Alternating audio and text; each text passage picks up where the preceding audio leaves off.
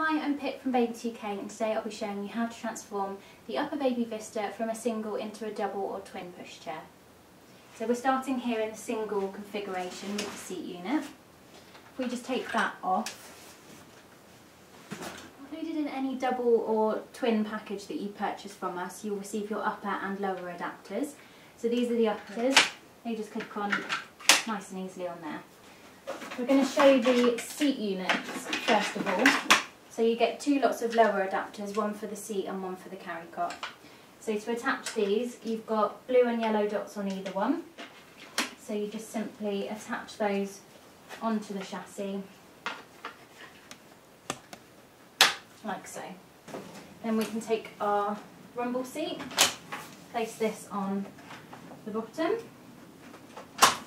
and then take our main seat unit and place this back on the top.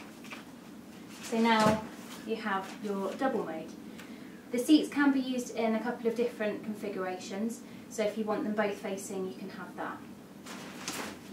So if we then take these off, I'll show it to you in the twin mode with two carry cots.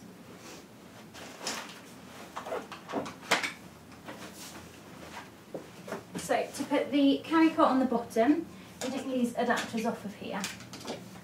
And then we're just going to get the bigger bottom ones, which are then the blue and the yellow. And these just exactly the same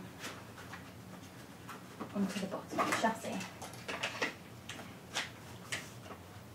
Then all we do is take our carry cots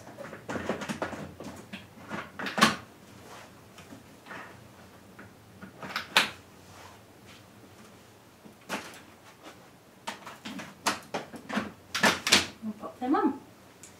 And there you go. There's the twin UPPAbaby Vista. Remember to check out our YouTube channel or Facebook pages for current discount codes or give us a call on 02392 670 670 for product information and promotions. Thanks for watching.